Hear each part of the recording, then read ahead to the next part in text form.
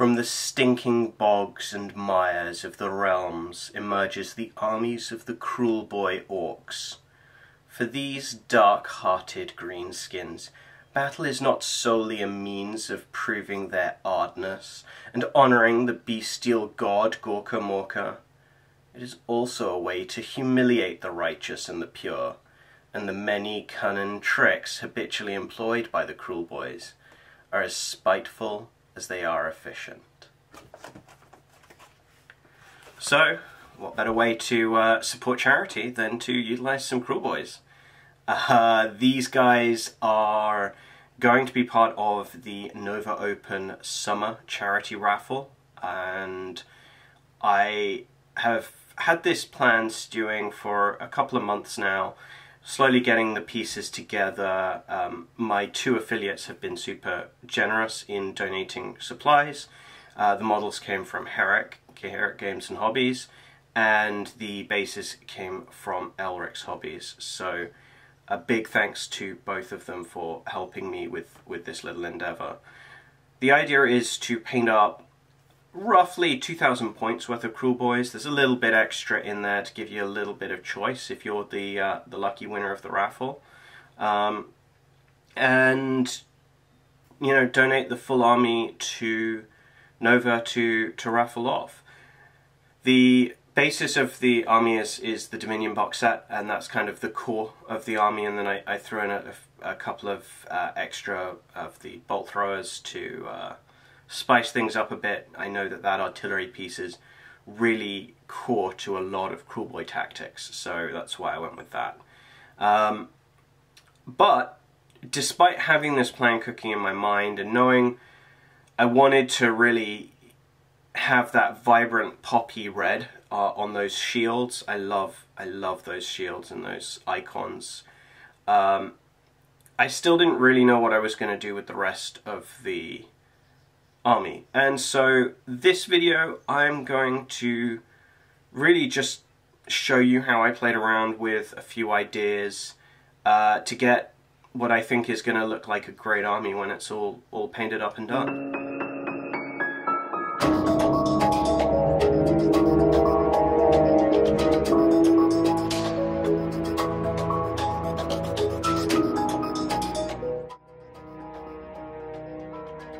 So as always, I started with a Zenithal Prime white Liquitex titanium white ink over a black primer. Uh, and the first step I took here was to get the base coats down on all of the metallic areas. So this was the sword, the armor plates, parts of the banner, um, just to really make sure that those areas have, have got uh, a metallic sheen to them and any overspray gets covered up uh, fairly early on. You don't really want non-metallic areas giving off a metallic sparkle with, with models, so I, um, I wanted to get that down early. I started with Vallejo Model Color Steel, which is my general go-to, and um, that is a really nice rich dark metal uh, that you can easily highlight up. Uh, it gives great coverage, it doesn't need thinning through an airbrush, and it still works great with a brush out of the pot, so it's, it's a really preferred uh, set of metal colors. The whole line is excellent uh, for me. This video is playing back at double speed, um, so you can see I'm really taking my time with this. I'm being pretty precise in where I'm shooting, and that remains true through a lot of this. I wanted to do something a little bit different with this army. Normally I will pretty roughly slap down airbrushing coats on a full army uh, and then add in the detail and the fine work at the with the brush uh, towards the end. This time I wanted to take a little bit longer with the airbrush and um, really give it some uh, some of the detail right right from the airbrush stage.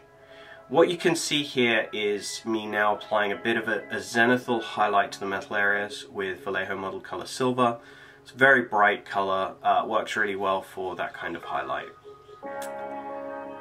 After that, it was time to start pre-shading the red. Now, those of you that follow me on Instagram will know that this recipe for red is one that I used pretty extensively with the Lumineth that I did for Nova last year and some commission work on Lumineth that I've done since. Uh, the start of this is to reinforce the shadows with a green. Uh, this time I just used a uh, pretty bright green ink from FW, um, which just sprays really nicely out of the airbrush. Be careful not to overspray too much with the green because anywhere that the green goes, and any red over the top of it is going to be knocked completely to black. So if you're too uh, generous with the green, you're really going to end up with a very dark red. Um, and the idea of this is to actually give the red more vibrancy. Having that green really provide a high degree of shadow pretty quickly um, enriches the highlighted areas, but there still need to be those highlighted areas to see. Um, and you'll see that I actually do go back and kind of reinforce those brighter areas later on just to make sure that there's enough surface for that red to really shine. So here is me re-establishing highlights with the white. Uh, I'm putting the zenithal not just to knock back some of that green, but I'm also taking the advantage, taking the, this opportunity to uh, push the white on some of the other areas, particularly the face, which I wanted to brighten up a bit, um, just so that the paints that I apply later on have a little bit more contrast to, to sit over top of.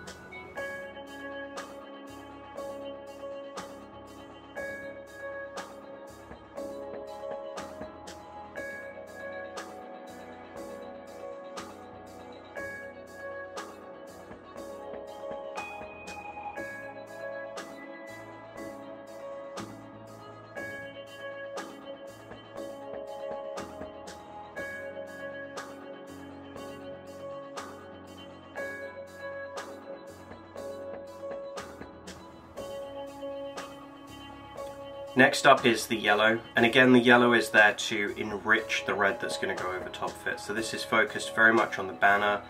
Uh, I want to keep the red to one fairly small area so that it's really vibrant when it uh, when it comes into onto the model and when you're looking at the models from a distance you see one singular point that's popping on the model. So having done that green, the yellow, well, the white, and then uh, blending, transitioning the two with the yellow in the midtones, uh, it's time to go over with a layer of red. For this I'm using Vallejo Gaming Red, and as you can see it gives a really nice, really vibrant color. Again, I focused this on the front of the banner. I uh, wanted to leave the back as raw metal. I figured these guys weren't going to worry about the uh, the back of what they're they're uh, using as a standard. They just want to really intimidate their enemies. Um, I had a little bit of red left in the cup, so I added a drop of white uh, just to mix up a little bit of pink for the tongue. Um, I probably could have gone with a more saturated pink, added a bit more white and, and had it a little bit more vibrant. Uh, but it it does the job for me of just slightly differentiating it from the rest of the banner, which is all I really needed. With the banner now done, it was time to give the rest of the model some attention. And I started with a little bit of thinned burnt umber ink from FW uh, to give the clothes a base coat to, to go over. Using translucent inks like this means that I'm still getting the benefit of the zenithal in much the same way as you would if you were painting with contrast over a zenithal. Um, the inks are flat, so they don't exaggerate the shadows, they don't enhance the shadows in the way contrast would, uh, but they they retain the, the contrast that's there already from the zenithal, and, and that's all I really needed for this. So I focused mostly on the clothes. I did do some intentional overspray onto the metals to give them a bit more of a worn look.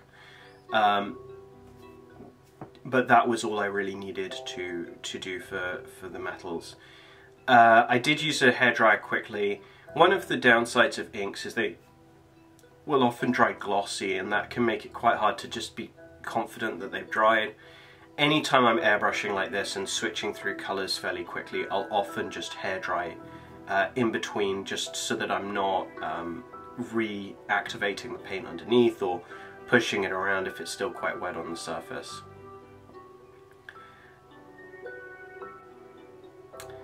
With the burnt umber down, I wanted to change up some of the colour areas, so I added a little bit of burnt sienna uh, and sprayed that on some of the areas of cloth just to help differentiate them a little bit here and there.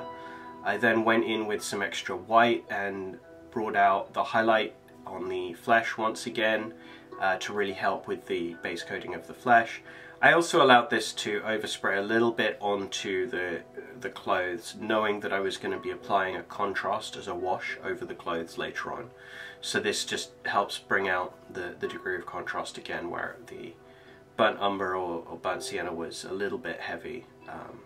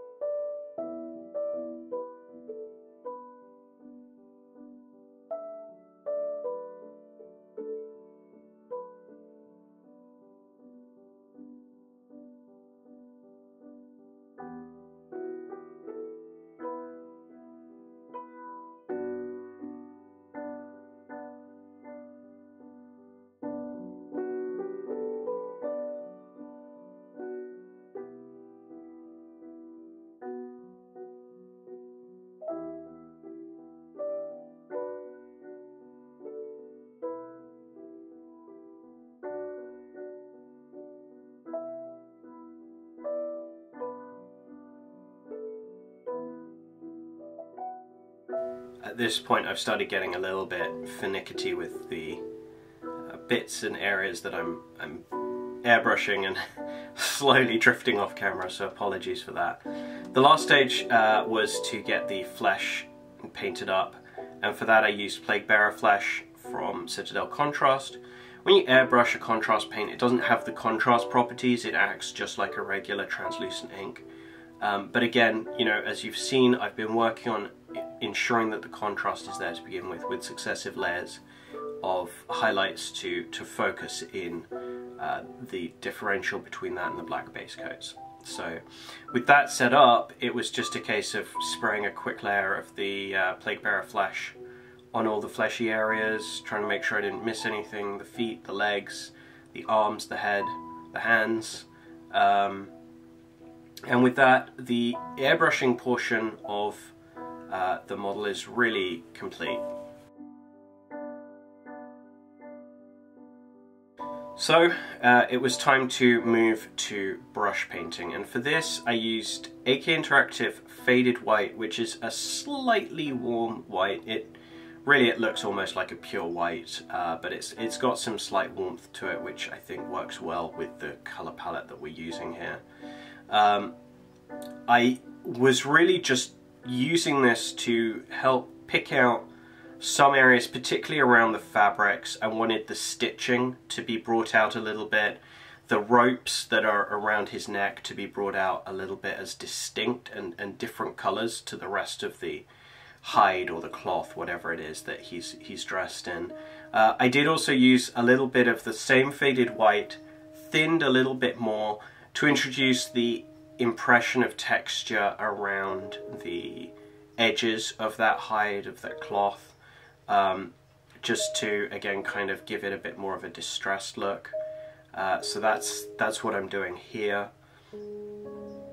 And I did also very briefly use it to pick out the maggot on the tongue of the banner. Uh, because, you know, every maggot needs a little bit of special attention, or at least that's what painting 3000 points of Death Guard taught me.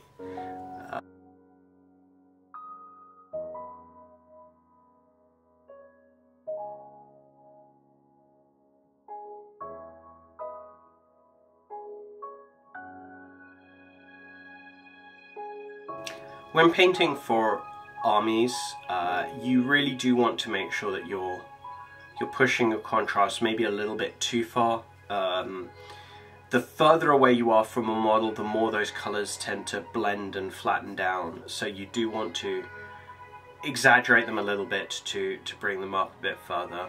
Um, thinking I was done with the white, I suddenly realized that I needed to do the skull and, and the strings holding the decapitated heads, etc. Uh, so I quickly brought my brush back and did those, and I picked out the teeth and the eyes whilst I was at it because uh, they needed a little bit more attention so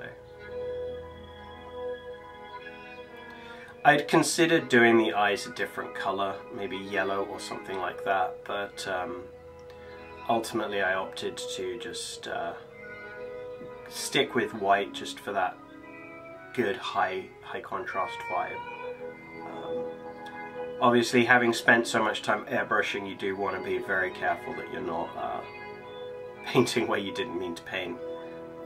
So do, do be careful when you're doing that. It's just like with contrast paints. You want to ensure that you are um, really kind of painting inside the lines uh, for this. And sometimes, you know, underpainting the areas is actually better than slightly overpainting them. Uh, if you underpaint, oftentimes if you've got your zenithal in place already, you've already got a black line between areas, uh, hopefully, uh, that will kind of give the impression that everything looks correct, even if you've actually just not painted part of the model.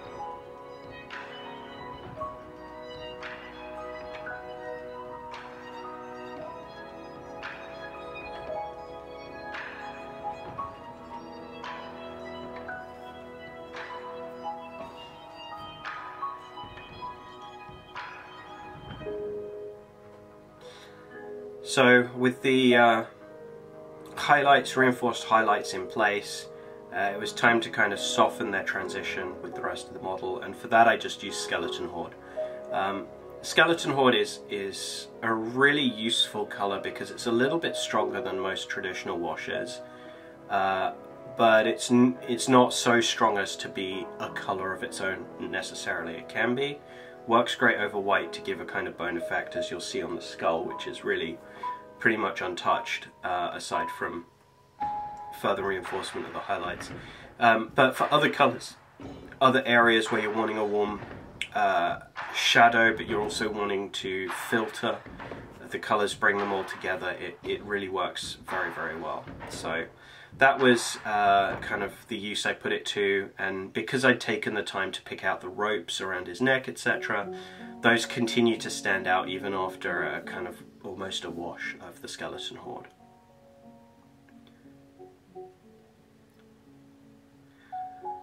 Last thing I did was a little bit of black for the eyes and to pick out a few other details. Um, I actually used uh, Black Templar contrast for this.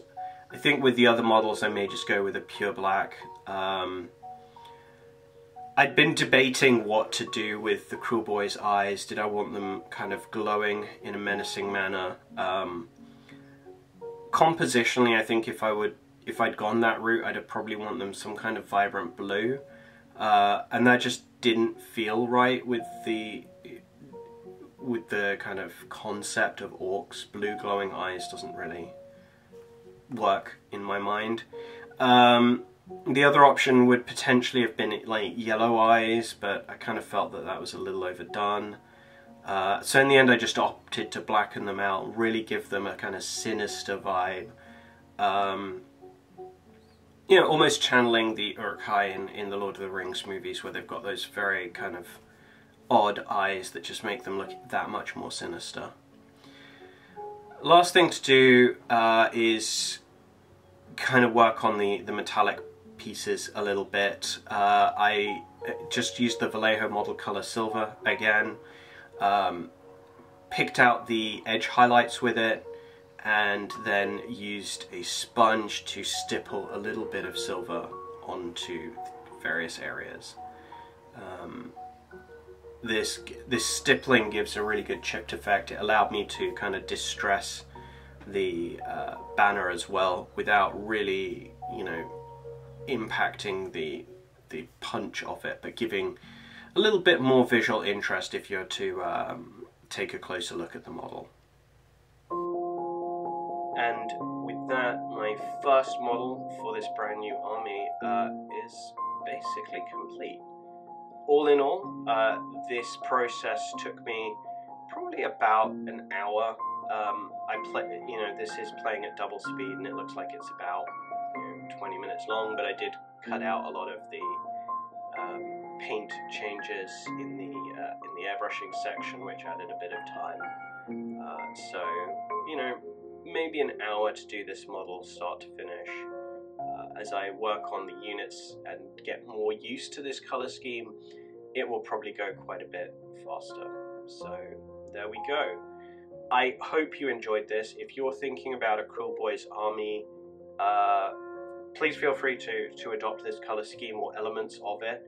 Um, but if you are thinking about doing a Kruleboyz army, please, please, please uh, keep an eye on the Nova Open Foundation's website and consider buying some raffle tickets to win this one. Uh, as I said, it's a full 2,000 point army.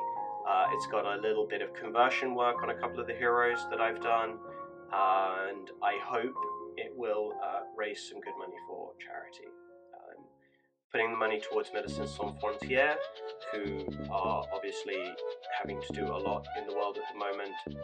Uh, so that is hopefully a, a, cause you can relate to and uh, are willing to donate to. Thanks as always for watching, folks, and I will see you in the next one. Later days.